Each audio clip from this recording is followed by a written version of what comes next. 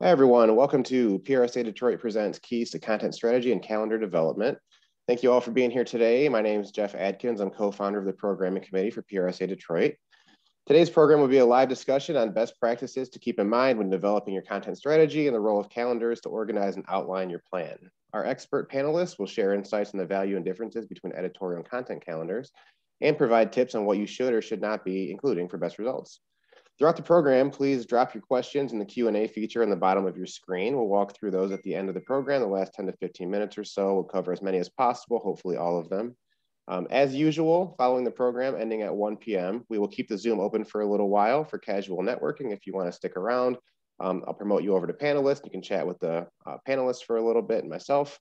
So please feel free to stick around if you can. Um, as usual, before we jump into this, we're going to read the uh, PRSA antitrust statement. So we read this before all PRSA uh, meetings and events. PRSA's policy is to comply fully and strictly with all federal and state antitrust laws. Meetings and programs held under the auspices of PRSA must be conducted in a manner that avoids the fact or appearance of conduct that may violate the antitrust laws. Participants are not to discuss industry-wide or individual company prices, current or projected, or matters relating to pricing such as costs, profits, contractual terms and conditions like discounts or credit terms, wages or salaries, market allocation, market shares or sales, clients or customers, or other competitively sensitive information. Compliance with the antitrust laws is a requirement for PRSA membership and the responsibility for compliance rests with each member. Participants in the PRSA meetings and programs have an obligation to terminate any discussion, seek legal counsel's advice, or if necessary, terminate any meeting for the discussion um, if it might be construed to raise any antitrust risks. Um, with that, I'm going to um, go ahead and introduce our moderator today. It's my pleasure to do so. So Georgie Kirsten will be serving as our moderator. She is co-chair of PRSA's programming committee and global marketing communications manager at ChemTrend. Uh, Georgie is a 15 plus year Marcoms professional. Uh, she holds an expansive portfolio of work experience in traditional and experiential advertising, content marketing, and PR for a variety of brands, including Ford, Cadillac, Panasonic, and White Castle. Currently, she is a global marketing communications manager for, at ChemTrend, a global process chemical specialties manufacturer, where she leads the development of external and internal communications to support the strengthening of the ChemTrend brand furthering its awareness across the myriad of industries that it serves. Georgie holds a bachelor's in advertising and promotion from Western Michigan University and a master's in public relations from uh, Michigan State University. After her earning her APR in 2018, Georgie took a more active role in the PRSA Detroit chapter and now serves as co-chair of the programming committee, working to bring meaningful programs to uh, PRSA Detroit's membership. Georgie, thank you so much for serving as moderator today, and I'll hand it over to you. Great, thanks, Jeff. Appreciate it. It's my pleasure to now introduce our three panelists. I'm going to start with Courtney Mathis. Math, uh, Courtney is a publicist with a decade of public relations experience. Her clients have been seen on Good Morning America, Newsweek, Essence, Vogue, Travel Noir, Billboard, Bravo, CBS, Sirius, and myriad others. She holds a specialty in entertainment, public relations, culinary industry, fashion, political, nonprofit organizations, and corporations, such as Detroit City Councilman Roy McCalister Jr., NAACP Detroit Chapter, and Foundation of Detroit Jazz Festival. Experienced in creative direction and production, Mathis is, has developed viral content and stories for influencers, artists, and Grammy nominated producers, and is proficient in social media strategy, live and virtual experiences, including event coordination, management, and consulting. Welcome to the panel, Courtney. Thank you for having me. And look, go Broncos. I also went to Western Michigan University. Right on, go Broncos. Next is Olivia Pearson, Communications Director of Beepers Detroit and Senior Publicist, founder of The Social Publicist. Olivia is a strategic communicator based in Detroit, Michigan. As a senior publicist and founder of her own boutique agency, The Social Publicist, Pearson is dedicated to helping unheard voices communicate their value. While she has served a plethora of small brands and businesses in the past, Pearson has narrowed her agency's focus to professional athletes and consumer brands. Through a careful mix of media relations, brand partnerships, visual branding, and social strategy, Pearson has worked on projects to support Olympic sprinter Shelly Ann Fraser Pryce, Apple, and even the Vice President of the United States, Kamala Harris. Prior to her launching her agency, Pearson has worked in numerous communications roles at companies like DTE Energy to support major enterprises and public affairs like Beacon Park and Detroit Southwest Corridor, Detroit Public Schools Community District to help engage parents and guardians under the district's new education reform, and Ford Motor Company across five North American manufacturing plants to integrate internal communications apps and corporate publications. Pearson earned a Bachelor of Arts in Public Relations from Wayne State University and serves as the executive board on the executive board of the National Black Public Relations Society Detroit chapter as communications director, helping to rebrand the organization through social media, copywriting, and web content. Thanks for being here, Olivia. Thank you so much for having me. And last but not least, we have Lexi Trimpe, uh, Integrated Communications Supervisor and Digital Team Lead at Franco Detroit. Lexi develops and manages data-driven digital programming that moves the needle for her clients in tangible ways. Lexi works with a wide variety of Franco's B2B, automotive, and e-commerce clients with vast experience spanning from social media strategy and email marketing to content creation for engineering and automotive retail audiences. Before joining Franco in 2018, Lexi worked as web editor for Hour Detroit, with bylines appearing in dBusiness, Model D Media, Eater Detroit, Thrillist, Roads and Kingdoms, and more. A writer at heart, Lexi is always searching for the best way to tell a story, even in 280 characters or less. A, as a self-professed professional nerd, Lexi playfully attributes her lifelong love of the internet to her parents buying her a gateway computer in elementary school. With an early knack for HTML and a lifelong passion for hearing and telling stories, her digital marketing career is more than two decades in the making. Lexi holds a Bachelor of Arts in Journalism from Wayne State University. Welcome, Lexi. Thank you. Very excited.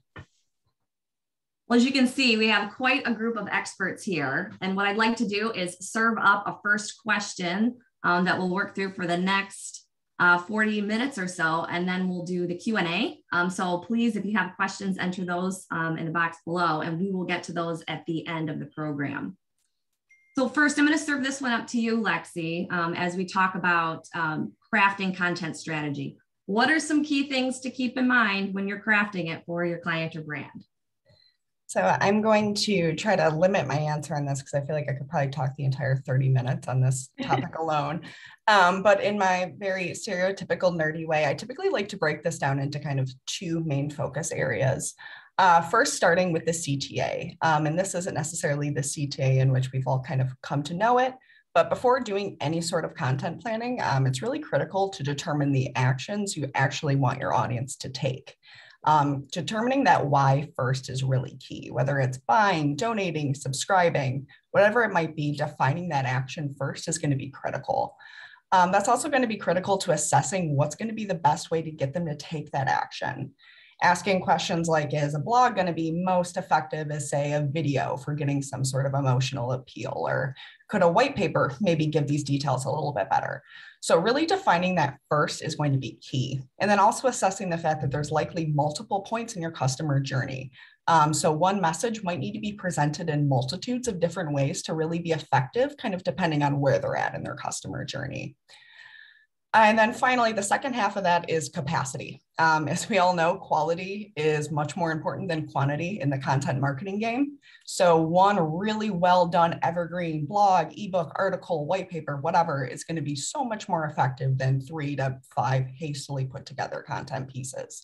So taking a step back and really assessing what can we realistically do really well on a consistent basis is going to be critical. And that's going to keep you from doing things like launching a blog strategy if you don't have anyone to write it.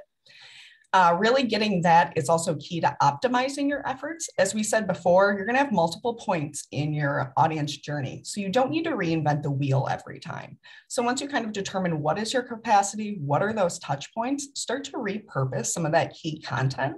That way you can really distribute those messages and reuse them in an effective way. Great, Lexi. And that process itself, do you undergo that directly with your client and brand? Yeah, so typically, um, because we are an integrated communications agency, we're typically touching a couple of other components within the larger communication strategy. But I think aligning both with marketing and with either sales or operations, whoever that other critical component um, and stakeholder is in that relationship, organizing and collaborating on what you're trying to get your audience to do is going to be really key to creating the sort of content that you know those key stakeholders actually see value in. Great point. Um, courtney or olivia any comment there? Um no lexi touched it all. The biggest the biggest thing i would have wanted to comment on would be capacity. So many times people come up with these ideas that they can't sustain and she just hit the nail on the head with that plotting it out on a quarterly basis i find to be helpful too. Like just look ahead the next two months. We don't have to look at the entire year but what can we do in 30 or 60 days? And i agree. I think um, knowing like realistic short-term goals could kind of help with like she said like that end result. You know hey we could get you all the press in the world but are you prepared for that traffic um, when it's time you know? So it's always better to like be prepared so we never like under deliver or over deliver.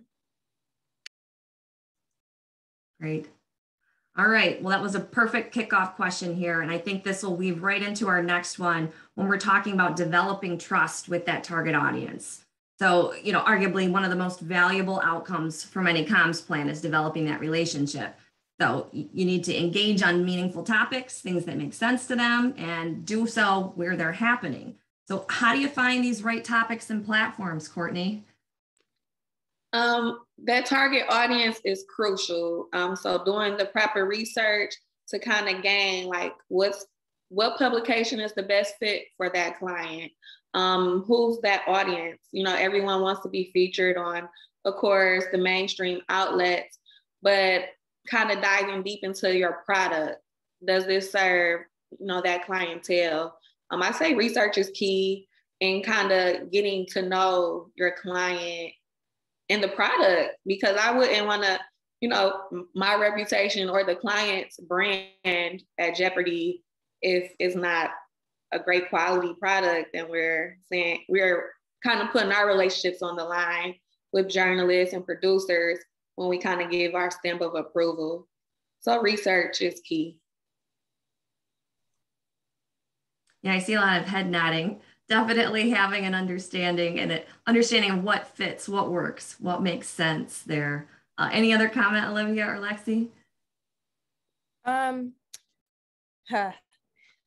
I think the biggest thing with that is being able, because we do have clients who want certain things. They have, you know, dream results, but how are we actually communicating to them what's in alignment and what's not in alignment?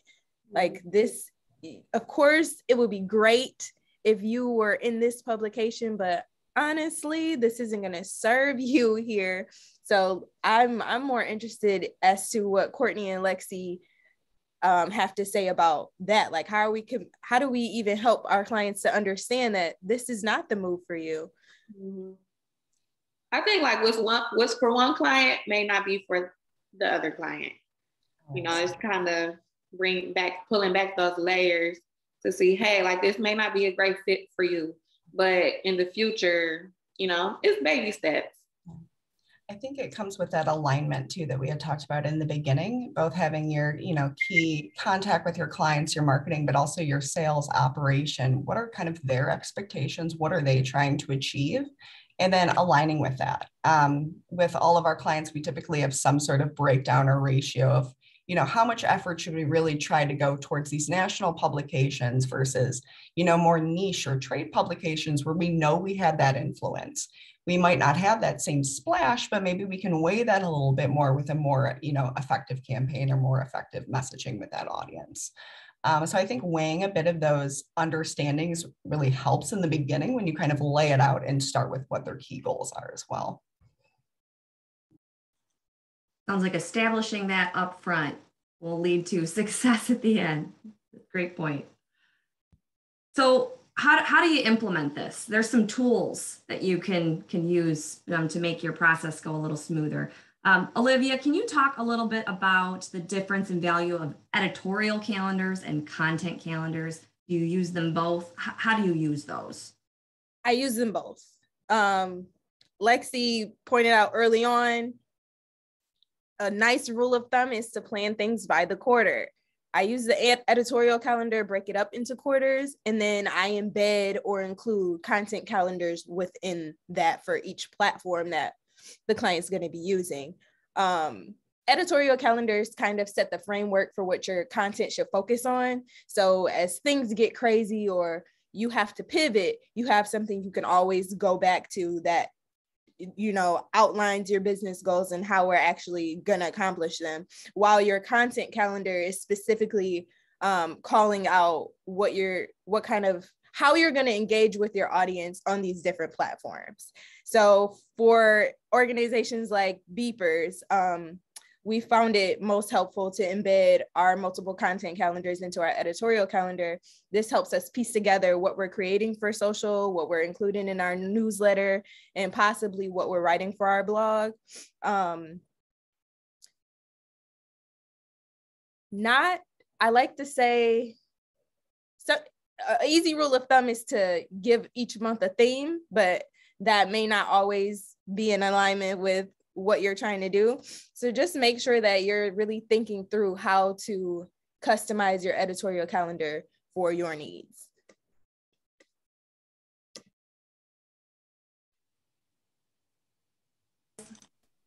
Thanks for that.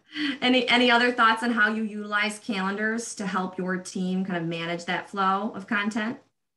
I think to add to what Liv said, kind of breaking down the theme all the way down you know, it's so trendy now to where like, hey, it's National Pizza Day, or it's you know, breaking it down even by the day, the month, National Women's Month. So hey, you know, we could kind of cater your press around that theme, and you know, it's always something trending in the news to where you kind of. Sometimes you may have to kind of edit the calendar to fit what's going on in the news and you know the trends on social media. So it sounds like flexibility is definitely a part of it. Um, Olivia, how how important is it to have every interaction and placement marked within a calendar, or, or how fluid or flexible do you think it really needs to be? Everything needs fluidity. Um, not every platform, whether it's social or otherwise, needs a content calendar. Um, just because it, it, sometimes it just doesn't make sense. Um, I think my easiest example would be Twitter. While you can plan out what you're going to say, it's a it's a platform made for conversation. Or TikTok, it's it's trend based. So you really have to be on it to understand what's going to be effective because if you're using something that's outdated, those views aren't going to be there. That engagement isn't going to be there. So um there's a million things that you have to remember, but make sure that when you're choosing what to create a content calendar for or what to actually take on that you have the interest and the wherewithal to be active on them. See a lot of head nodding from you, Lexi. Did you have a comment related to that? Yeah, so just I, I, guess too on some of the intricacies, um, I'm always really excited to hear that you never have one content calendar, right? Because um, for our purposes, I don't think for any of my clients or even for us as Franco, we have one content calendar um, we always obviously start with that million mile view, right, from the top down, showing how our content marketing owned media is also influencing our paid, shared, earned media, you know, kind of at that top level view. But then we also, you know, break into each one of those platforms. Um, when developing these calendars, one of my favorite things to do is just kind of stop before you even open Excel, you know, smart sheets, whatever. Just starting with a list are what are those items that we need to easily reference in order to be able to produce this in an efficient and effective way. So my example I always go to is, you know, you got to create a monthly blog calendar if you're doing monthly blogs. So things like, you know, what are any SEO considerations, your topic, who's your bylined author, publishing date, some of those just kind of core elements that you need to reference when building it out versus things like you know white papers ebooks webinars anything that has a little bit more of a designed element you're going to need to account for things like your copy editing any production turnarounds revisions uh, tracking elements in any of your urls salesforce codes really taking a good, you know, list of what are those things that we need to do to not be emailing or sending each other slacks a million times of what does this need in it?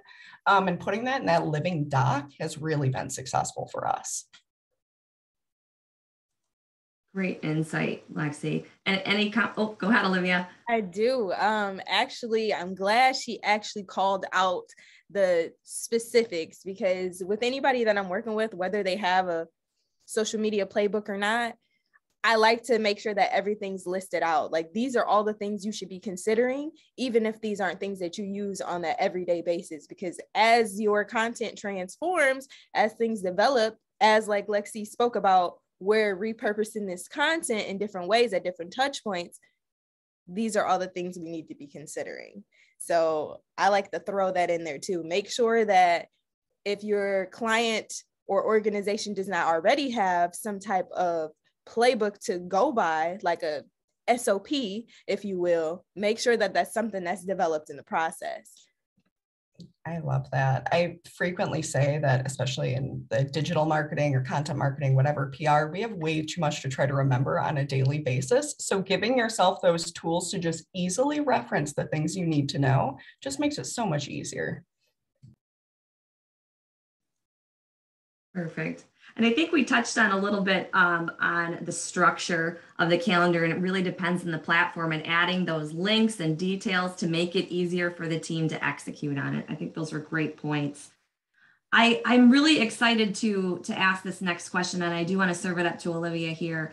We're talking about innovation. You know, things just explode right in the digital space. Oh, good. I think you're, you're ready to answer this one. Um, what are the most innovative content plans including? What do you see out there that's being tested and trialed now that haven't hasn't been in the, in the not too distant past?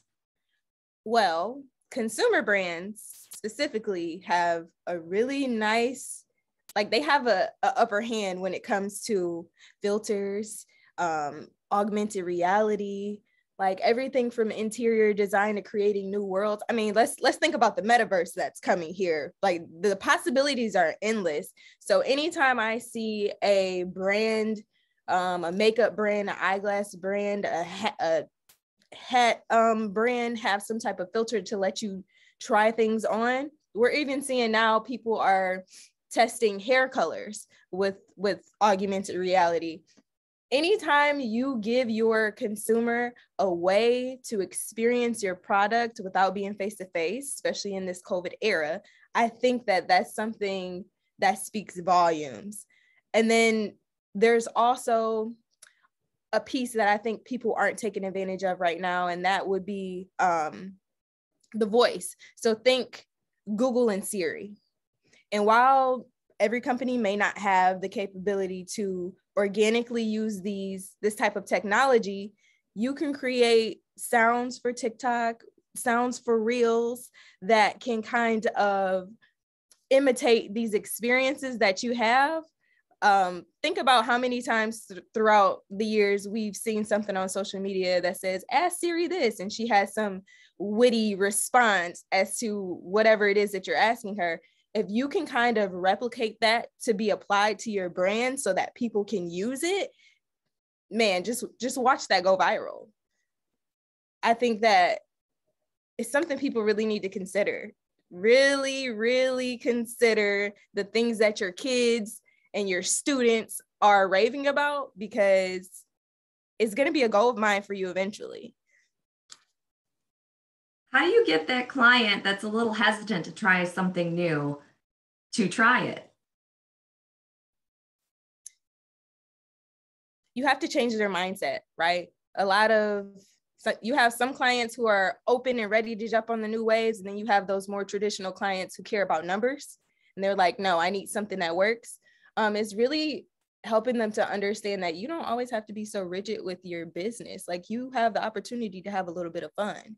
Um, that's what it's going to keep you passionate and your con- consumers passionate the more you enjoy what you're doing, the more people are going to enjoy using what you have. So that's kind of the approach that I take when trying to sway people into trying new things. Like, let it be light. Everything that you've done up to this point has been an experiment. Let's continue the process. Swinging in from the B2B automotive space over here, where obviously, you know, sometimes it can be a little harder to get into some newer things.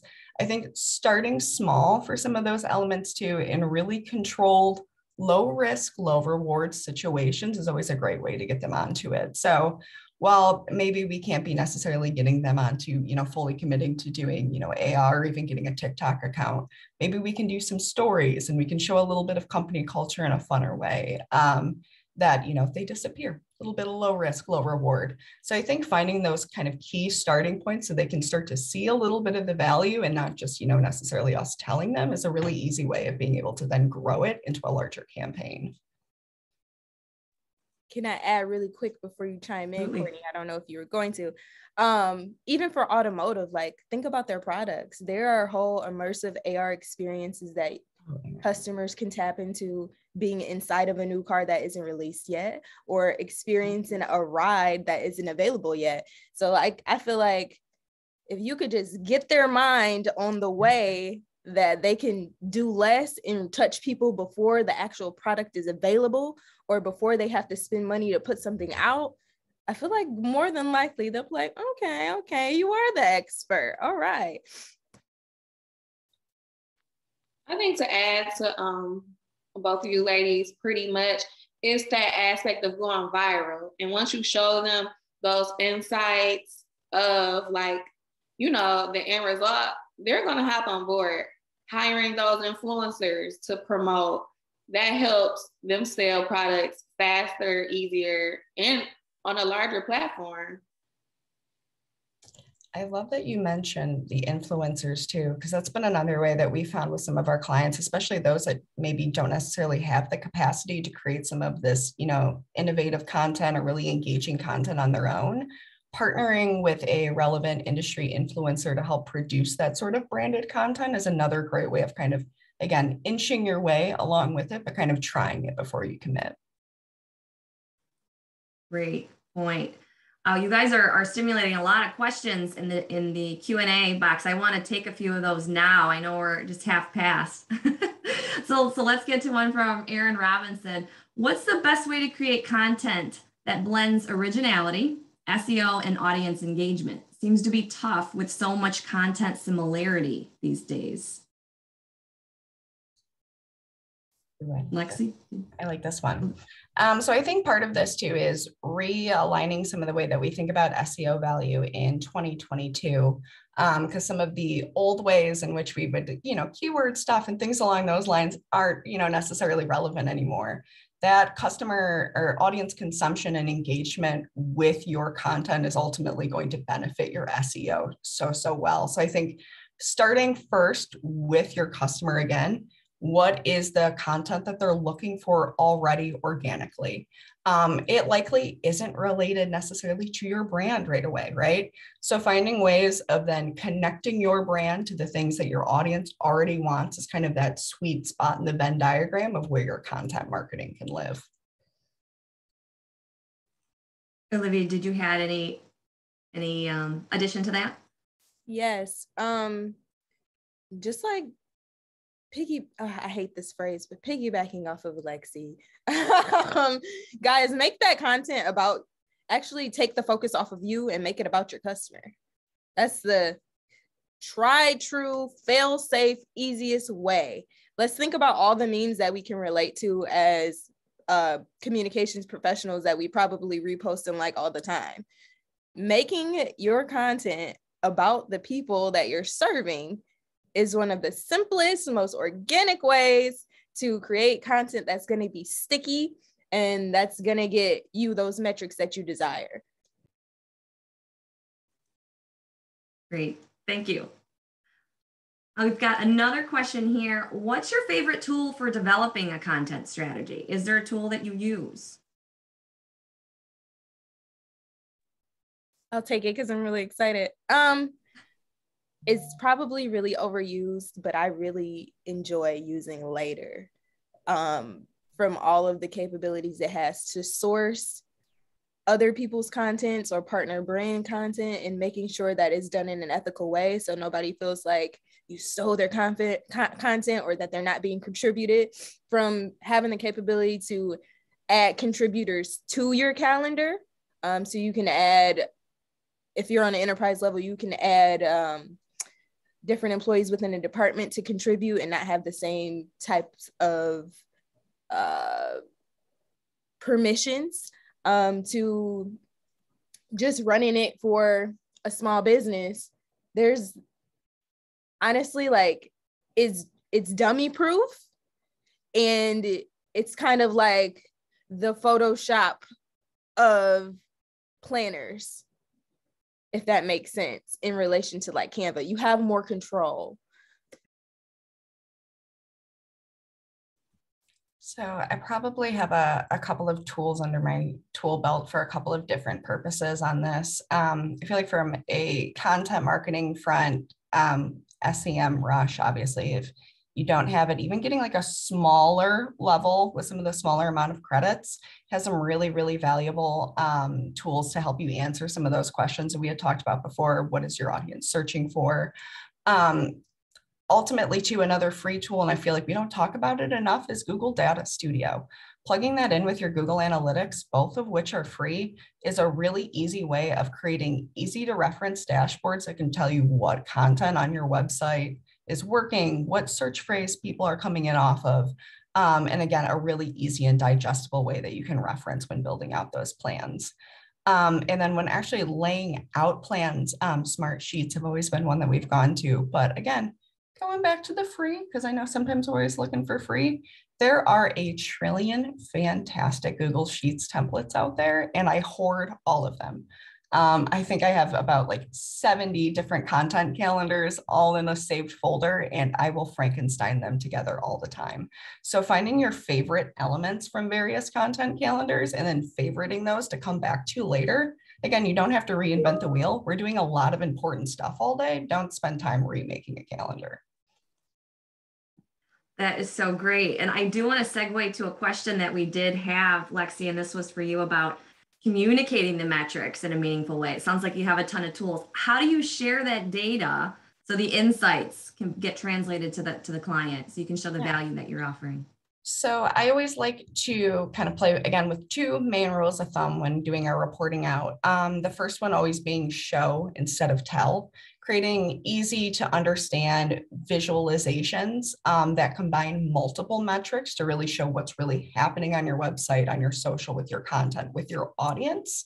Um, is always going to be more valuable than me talking to you or me sending you a whole bunch of paragraphs. Um, so starting first with trying to figure out a way of being able to visualize those. And there's, I mean, a million different data visualization tools out there. Um, Agency Analytics is a really great user-friendly one um, for some smaller agencies. Data Studio is free. Soma or Domo is another great one. Um, but again, just kind of finding what makes sense for you in terms of that data visualization, and what you need with your client needs. And then the second one is when you're writing your analysis, um, is always asking me, so what? Why should we care? Um, if your analysis is purely this is what happened, that's a report, not an analysis. So we really need to be able to infer something from it. What have we learned? What are we going to try next? What are we, you know, not going to do anymore? Kind of giving those next steps and why you should care really needs to go in that analysis for any of those metrics to really hold any value. Perfect. Did you want to add, Olivia? Because this is something that I'm still tweaking, I feel like maybe it's something that I'll never really master. But question for you, Lexi, how are you when you're, you know, relaying these insights when people are focused or clients are focused on certain metrics they think are important? How do you dis disarm like their worry? Um, let's all talk about page views. Um, why are page views low? Um, why are clicks low? So I think that's where it's really important to, have, again, as much as you can, never looking at a single metric because a single metric is never going to define your success. Um, when looking at things like page views, you know, your top performing blog can have, you know, X number percentage higher than all of your other blogs. But if your bounce rate is 100% and you have a three second time on page, really not doing anything for you. So much in that same way, I think it's, you know, important to start to flip it in a little bit and look at your metrics in a really realistic way. um, by presenting your reports in a more kind of cohesive way, kind of showing your metrics working together, it becomes a little easier, I find, for clients to stop focusing on just one in particular. But again, if they are really hyper fixated on that one, find your other metrics that complement it to kind of show what is the true story that's happening around it.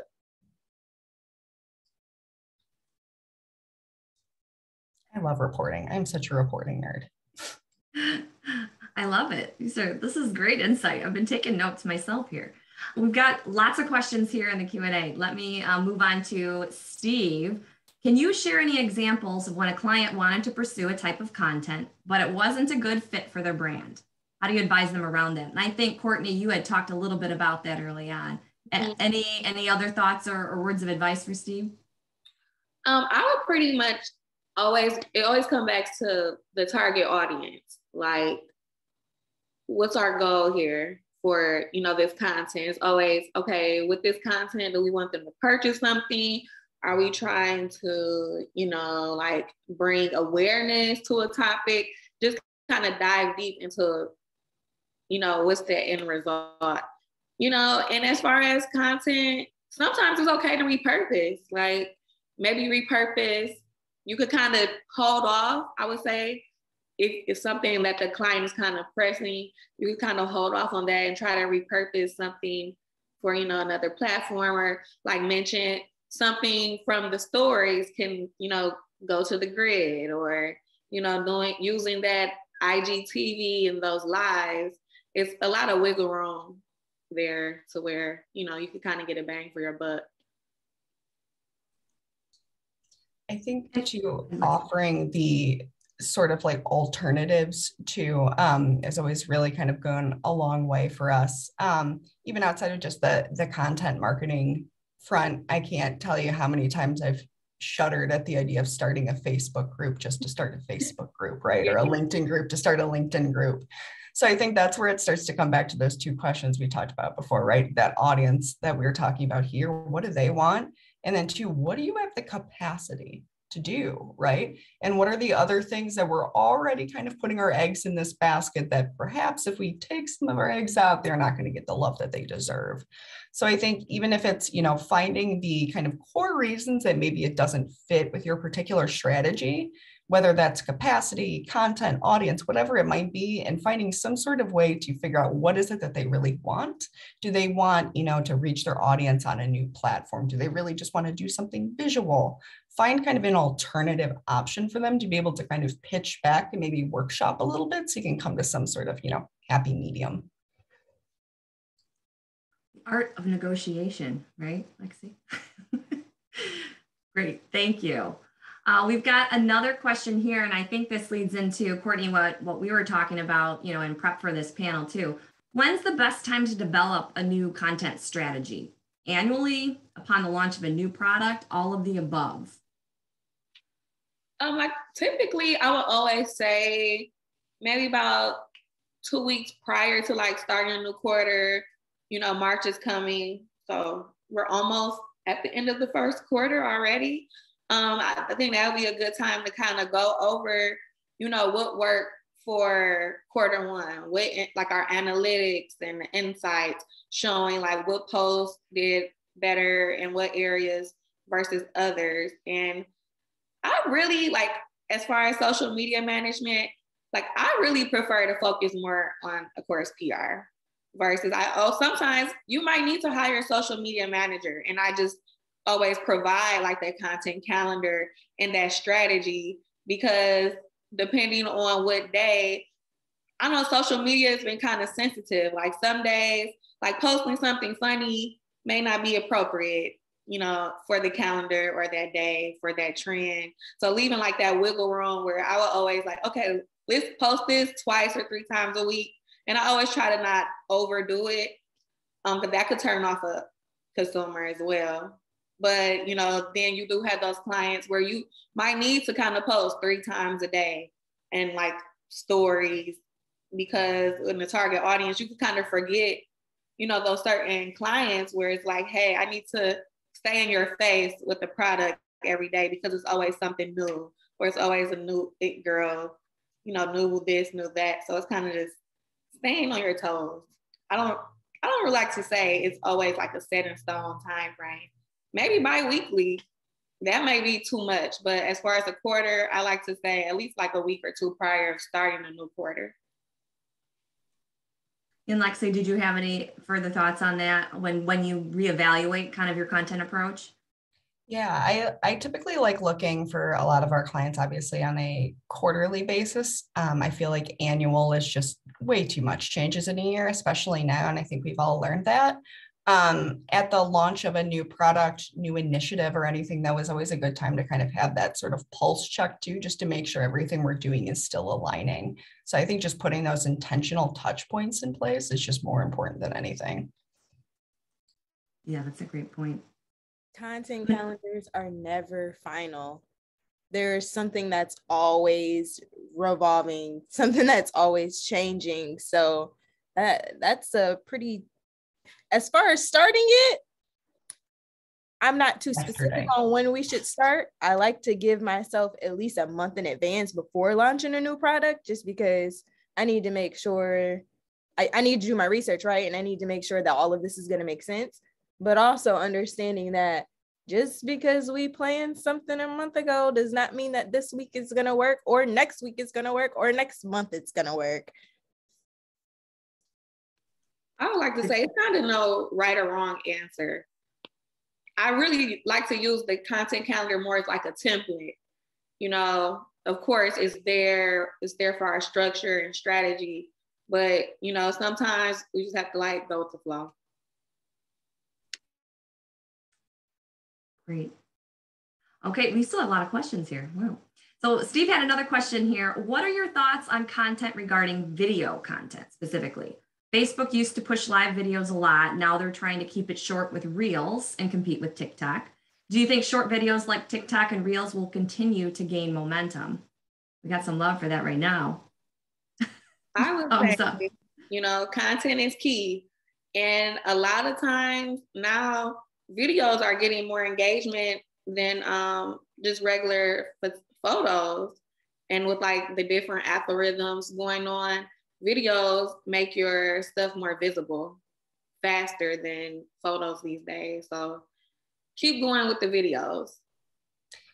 And I would say so. A, I I think I'm going to show my age here, but I'm finally just now starting to come around to vertical first video, which took a very very long time to do. Um, but with that, I think just embracing the current content standards for video can take a lot of pressure off content creators, especially you know brands that maybe haven't done a lot of video content. They're only used to very very produced, well done horizontal 1080p video um, or even, you know, necessarily really, really done live feeds. Embracing some more of kind of that piecemeal, impromptu, you know, cell phone quality video. Um, I'm constantly blown away by how nice the new iPhone video quality is. So I think there's a good way of even being able to combine some of those elements um, doing lives from Instagram um, and things along those lines are a great way of kind of being able to combine some of those elements and still using that live element that does get pushed to people. So you're still getting that benefit of that notification on their timeline. Um, while again, still keeping it a little bit low quality and a little bit more fun um, in that, you know, disappearing element. So just combine your efforts, use them across the board. And it also, let's think about how much time people are spending on mobile. Let's think about what's digestible for people. I'm not trying to watch a five minute or necessarily a two minute video. I think that's because I'm using my phone in between me working and me being on location for things. I need to get the information quick. Um, you might have to give it to me in multiple videos, but at least I can take the chunks and process it and memorize, you know, something that's that I'm gonna attach to your brand because something longer is gonna get lost. Yeah, bite sizing it. You see a lot of that. Definitely. So, so it's taking that video um, idea too, we had another question about how do you prepare an integrated approach? Let's see, you know, if you're using video content too, across traditional, digital, etc. when developing content, how do you kind of integrate it across? Go ahead, Olivia. When I'm pitching, I like to use the same videos or I like to hyperlink things in my uh, press release to social. I'm making sure that I'm maxing out that content. If you took the time to produce it, sometimes it it's a bit more costly than others. We're gonna use it until there's no drops left. Um, thank you, Lexi. I needed it. um, just making and, and when you're pitching, giving stations, giving journalists, whether it's going to be print or web, the opportunity to spread it across their platforms. I mean, what more do I need to say? Giving them all the pieces, I think, is so key, especially now when pitching. Um, again, just like all of us, journalists are very busy. So giving them everything they need from, you know, quick little tidbits and uh, quotes to actual video, YouTube links and things, they're all critical. Um, and I think when plotting this, that's where that calendar comes back into play that we keep talking about right from the beginning, taking a step back and going, okay, we're producing this blog or we're producing X, Y, and Z. Where else are we supporting that? How many times is that going out on social? Could we backlink to that in one of our press releases? What could we be doing to further integrate those efforts? That planning, I think, starting right from the beginning makes it so much easier than having a piece and then going, okay, now what do we do with it? And furthermore seeing if if you have a broadcast piece seeing something flash across your screen that you see across your phone is going to heighten your attention to detail or just awareness of that brand in general. Brand recognition all day creating that sort of consistency in your messaging in your visuals it's so so important. Such good advice and things to think about guys uh, lots of questions still. Um, when a client requests a quarterly content calendar, and we talked about this a little bit, what's your typical timeline for how quickly you need to turn around the finalized calendar for them if they're looking at and approving all these? What's kind of the rule of thumb you go by? This is a fun one. I get this one a lot. So determining first, so obviously if we've been talking about, you know, whether that's, you know, annual or quarterly, whatever it might be, we know things are going to shift, right? So we always say that that content calendar is definitely a living doc, but determine what are the elements that need to go to approval and by when um, for some of our clients, we can realistically look ahead and say, okay, quarter by quarter, we know that this is going to be our really broad campaign that we're putting over it. But then we can kind of find these smaller campaigns and content buckets to feed into to make them a bit more timely. But with all things, I think it's always important to be realistic that, especially now, something crazy could happen. So giving that with a little bit of a grain of salt of, you know, here are some of the contingency plans, or we should be, you know, prepared, or we can easily shift here, um, is I think also important in just establishing some of that flexibility right off the front. Great.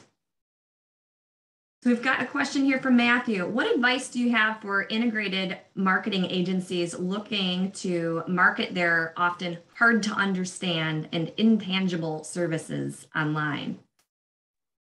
Olivia. Focus on the value. Don't tell me it is what you're doing. Focus on the value. What am I gaining from this? And I mean from all sides. What am I learning mentally? How are you changing my mindset? What am I getting tangibly? How am I feeling after I'm working with you? if you have something that is hard to understand, you got to strike that emotional appeal. Strike how tell me about the transformation. I think that's how you you win that one over. Yeah, starting with those benefits, right? That why should they care? They don't have to care about your brand or even the things that, you know, your brand or your product is doing. Starting first with the okay, what are you looking for? What's your need? What's the, you know, challenge at hand? And then starting with the addressing um, how your product, brand, or whatever, you know, enhances that is critical. That's that, you know, customer first marketing that we were talking about before. I would kind of also say always ask yourself, would I buy this? Like that's kind of what it comes down to. As a consumer, would I want to purchase this? Why do I need it? And why do everyone else want it? Everyone wants something, you know, they don't have. So it's like that demand is crucial. And leverage visuals too for really hard to understand concepts and things for your audience. I think, again, similar to what we were talking about earlier, if it's really hard to explain something in a super concise way, using things like videos, infographics, um, things along those lines to really just make it easier for them to see it. Um, and thinking of all those different types of learning styles, I think is really critical, especially with any complex or B2B type client and also help me to understand if sometimes clients think that they have one problem that needs one solution. When your hard to explain solution may actually be what it is that they need. So take your time to educate people on you know where you fit into their business needs. Very cool guys. Thank you um, there, there's still quite a few questions, but this one kind of struck me because I really want to hear it myself too. What's your favorite memory or experience when it comes to content creation? Do any of your previous projects stick out in your mind as exceptionally successful, maybe even more than expected? What led to that level of success?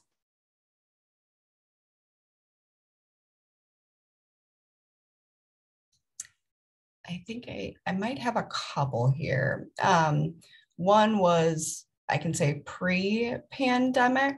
Um, for NAIAS, obviously here in Detroit, um, that's a auto show. It's like bread and butter for B2B and automotive, especially, you know, tier one and tier two suppliers.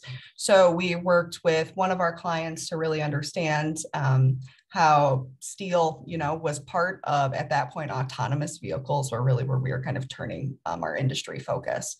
So working with them, we created blog content. We had influencers on site helping us to do some social content with the media. Um, and then we also assist them in creating a VR experience with the Oculus. So we had media um, and industry folk come in and sit in an autonomous vehicle with their VR headset and see how steel was actually impacting autonomous vehicles of the future and being applied. So that was again trying to understand first what is our audience, what do they care about, how can we connect it to what they care about, and then how can we then have them experience it. Um, and I think we did that in a really effective way across social, in person, in the media, on the website. Um, we are really strategic about using that messaging across places. That sounds fun. Where do I sign up? right. I don't, I think Oculus, are Oculus still big now? That's the other thing that I will say um, right. um, whenever you're investing in anything quite a bit, understanding how quickly technology moves now um, is aggressive. I haven't worked on anything as cool as that because that's up my alley. That by, again, that was by far the coolest one. So my head would have exploded. But I did get the opportunity to work on the Tomorrow campaign with Nike for one of my clients. And it really, it was leading up to the Tokyo Games. And it really, when you think about like, what's your favorite sports moment ever, you always think of the past, but they positioned it in a way where we're thinking about the future. So I think that that was like one of my favorites because we're changing we're we're we're helping you build anticipation for expectations but we're even changing the way that you think about like sports and the conversations that you're having about it. Look your stuff y'all stuff sound really cool. I probably will only i would say um this is during covid uh with naacp detroit chapter we did a huge campaign for take your souls to the polls and that campaign really did well. It went viral in the aspect to where, okay, of course, with all the controversy with the votes, Detroit had to do a whole recount of the vote. And it involved a lot of first time voters. So I would say like having those like fundraisers and campaigns with, you know, millennials and like Gen X generation kind of brought a new fresh take, you know, on the whole voting process. Like our voice, the people felt like their voice really counted in that um, election. So definitely virtual aspects with like the ideas of these hybrid events have definitely helped kind of, you know, pivot and the whole way you do PR and marketing these days. Such good examples and experiences you all have had. This is incredible. Um, we only have about five minutes left, and there are still a number of questions in the chat here. So um, I'm just looking across here, and, and I'm interested in this one too. Newsletters or resources that you all subscribe to that keep you up to date on best practices in, in this capacity? Any that come top of mind that we can share? Adweek's daily um, newsletter that comes out. Um, it's collective, and then the PR daily. Both of those are really phenomenal. Um, also, getting back on Medium and paying for a Medium subscription. Um, my Medium uh, selections have just been phenomenal. So I think kind of those are my big three on a daily basis that I'm constantly looking for for articles. Honestly, crucify me for it. I've unsubscribed from all my email newsletters and I've decided to follow everybody on social. Yeah. Um, that's the quickest firsthand. way. For, mm-hmm. Yes, it's the quickest way for me to figure out what what's even going to be in the newsletter. By the time I get it, I'm pretty sure it's a little dated and I, I need it fresh. So I honestly just follow all of those that Lexi just mentioned. And I follow Social Media Week um, on Instagram um, and Twitter and everything else i think is pretty industry specific but just as like as far as the industries that i serve but as far as comms i think those are great rules of thumb. Oh and i also follow coverage press but that that's more of a roi platform but still. I like to kind of subscribe to other to other publicists um, their platforms um, sometimes there's a lot of informative, like very informative on like, hey, on, you know, different trends in our within our industry. And podcasts have been kind of cool and like a faster way to kind of get those like what's happening in the news. And definitely social media is always like hand on first. And look, don't sleep on Google alerts. I mean, can never go wrong with Google alerts. Perfect. Well, we've got three minutes that I want to ask this question, this one last question. And for those that I we didn't get a chance to answer, hang out with us a little bit afterwards, and then you can you can ask it yourself directly. Uh, what's your advice on starting a social media platform for a new business who isn't there already? Um, how, how, do you uh, find the target audience? I don't. Who? I'm just gonna say two things, and then you guys can take it away we're not necessarily finding those people. These people should just be migrating from everywhere else. But mm-hmm. continue, panel. As I was gonna say, so before you you find them, you should make sure you're they're there before, right? You even get on that platform. Uh, once you decide, let's say you already know that they're there, they're just not following you yet that's where I think it's going to really, you're going to have to leverage a your, you know, employee advocacy, whatever it might be, use your internal resources to get to their, you know, uh, their connections, start to follow and build that up, right? But outside of that, start to look for your influencer marketing. Um, make sure that those channels are connected everywhere. Are they on all of your content marketing assets with the little icon? Are they on the bottom of your newsletter? Have you promoted them on your other channels? Um, but before, again, you even launch that channel, doing that sort of research, the social listening, the competitive monitoring to make sure that that audience is already there before you start it is really key. I agree. It's kind of like that internal evaluation. Hey, let's kind of pull back the layers and go back to the basics on our like our website. You know, is the content there? And before we just run to social media, do we have the quality content to kind of produce, you know, the traffic we want because first impression is key, especially for like a new brand on social media. Yes. For Instagram alone, you have those nine squares before they decide to follow or keep it pushing. So capacity all day, quality and capacity. I think we're going to end there.